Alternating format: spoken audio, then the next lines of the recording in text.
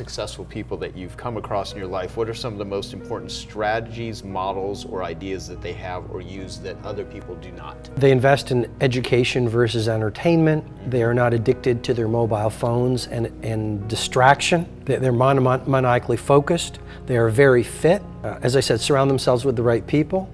They understand success is a numbers game, grit, right? They're relentless. Yeah, they're, they're committed. Keep their promises, over promise, over, under deliver. You're quite different from other people, and you shouldn't be comparing yourself to them because they're not like you.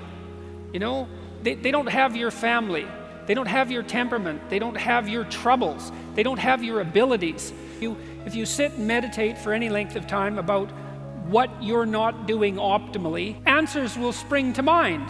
You know, you could be getting up earlier. You could be, you could be, you could be watching YouTube less, unless they're my videos, in which case you could be watching them more. The capacity to strengthen and increase your hunger is the one common denominator amongst the most successful people. You know, uh, you know, Richard Branson's a good friend of mine, and Peter Guber, Steve Wynn, all these guys, they've never lost their hunger. Most people are hungry to achieve a certain amount, make a certain amount of money, and then they get comfortable and relax, or to get a certain level of fitness, and then they relax.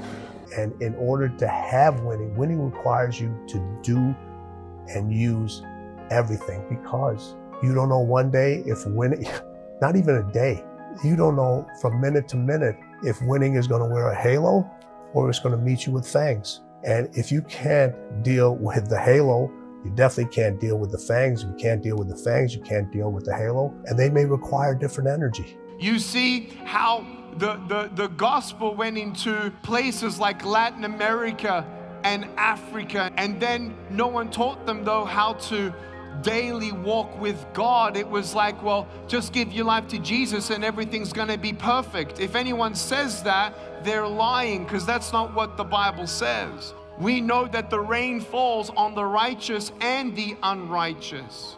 And it's not about having a philosophy in God that, well, just, you know, text him when you kind of need him. Alpha state is a great state to learn in, though. Great state to learn facts. And the alpha state is where your conscious mind is set aside and you're not filtering. It's information is coming in.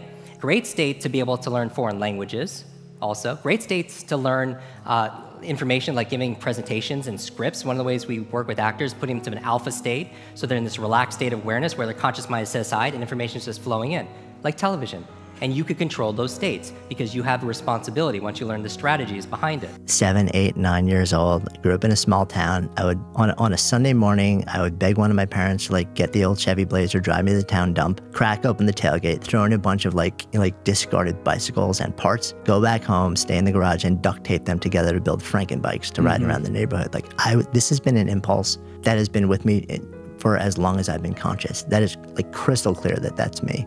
The scientists, yeah, I think it's it's there in a really strong way, and it's been of service to the maker of me in a really powerful way. And the nurture, yeah, I care about people.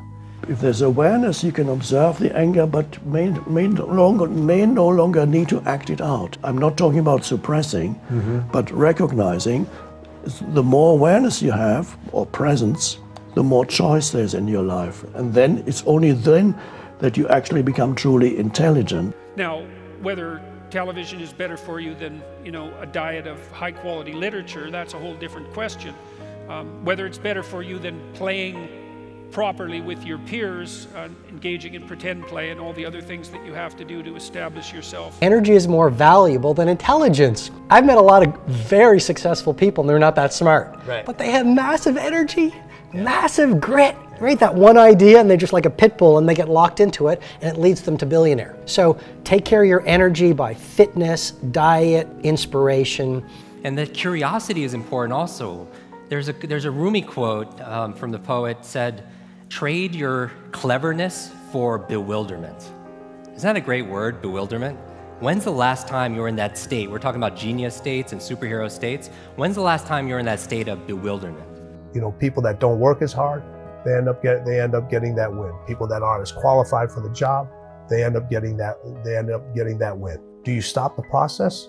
No, you continue to get more maniacal with the process over and over and over again.